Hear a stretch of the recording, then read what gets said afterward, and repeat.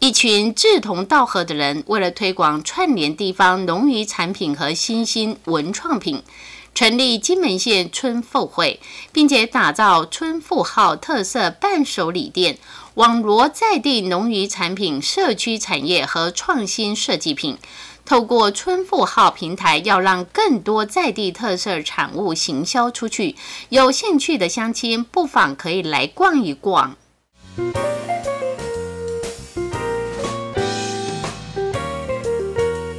店就是呃，主要是把金门的一些呃有意思的商品，就是有很多人自己在设计自己的产品，还有一些农渔货，就一起放在这里贩售。跟金门的一些文化历史啊，或自然生态是有关的。然后后面那一边主要是吃的，像蜂蜜啊、呃干昆布啊这一些东西，都是金门这边自己自产的很好的产品。春富号是位在京城民族路上，它是一栋共享办公室，一楼店面是卖店。虽然十九号才要举行开幕式，但已经开始试营运。最近吸引不少民众和游客来往参观选购。哦，因为这一次是刚好来这边出差啦，对，然后就听说这边有有这家店，就是好像快要开幕了，这样就想要可以过来看一下这样。我觉得那个水獭的娃娃很可爱，那个买回去的话，小孩子一定会超开心的。呃，那个酸酸高丽菜啊，那个我觉得也蛮也蛮特别的，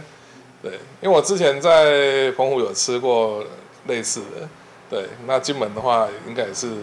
也是值得期待期待这样子。跟以前来金门啊，就是传统那种特产店，就蛮蛮大的那个差，蛮大的差异这样子。因为传统那种金门街上的特产店，大概就是以大家比较熟悉啊，什么高粱酒啊、牛肉干啊，还是贡糖那些为主这样子。对，那这边的话呢，我觉得它主要就是说有很多呃这几年就是金门这边有很多年轻人哈，他们做的一些呃算是文化跟创意的商品这样子。对，所以我觉得它是蛮有特色的。哎，那。怎么讲？因为以前带那种高粱酒啊、贡糖回去，大家都觉得啊，那个已经都吃太多了，就不要再带了。有没有什么比较诶不一样的？诶，所以想会特别特别想说来这边找找看这样子。店内陈设简洁明亮，仔细一逛可以找到不少的好物。其中店门口这个文创品画着地区传统阵头帕回草，创作者以手翻书创作呈现在地阵头特色，吸引来店的目光。不过这只是承展用的非卖品。其实这个是一个我们这边的一个小展览，然后它这是熟悉金门的人应该看得出来，它是迎城隍时候南门进的帕回臭。那这位在座的这个人，他其实是正头第三代，他的阿公好像地方叫他碰腮，然后碰腮啊，然后他就是画这个肚子的这位师傅，就是画脸啊、脸谱啊，还有肚子的师傅。那这位第三代叫王成静，这个年轻的女生，她今年大学毕业的时候，她就把这个作为她的商业设计。系毕毕业制作的作品，然后就把动作分解啊，然后把每一个人物性格啊都放在里面，就像刚刚在翻那个手翻书。对，那对我们来说，其实，在这样的空间，想要去推行金门有什么这种在地文化，像它这样子的结合是非常好的。所以这个是非卖品。这个是非卖品，它有做两个小东西，一个是小毛巾，一个是小的明信片。因为其实是他在毕业制作的时候的，所以商品其实比较简单一些。然后在我们店内也有贩售。就如同这文创品春富号成立，就是要将产品和产地连接串联金门物产地方特色环境创意行动。让消费者容易找到各种特色好物，期许未来将村落特色体验形成共同振兴地方和村落经济。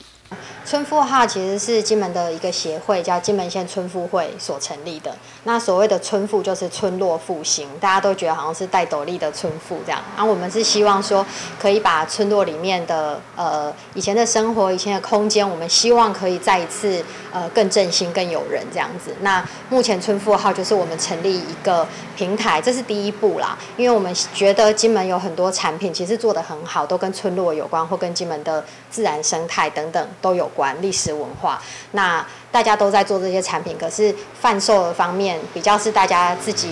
想办法贩售，然后比较没有一个整体的金门形象，所以我们就想说，我们可以结合一个平台，帮大家贩售，帮大家报道，然后整体对外让大家知道金门其实很丰富。目前这边大概有。将近一百项产品，大大小小的，然后大概有几十家合作的厂商，有的是创作者，他们是文创品，跟金门的历史文化会有关，然后以灵以这个为灵感，然后也有一些像我身后的这一些是农渔干货，像干昆布啊、呃蜂蜜啊、香菇啊这一些，然后还有一些芋头的一些产品，然后我们觉得这些产品其实很棒，很希望让大家来金门的时候，透过这些产品知道，其实金门它每个产品背后代表的金门是很丰富的。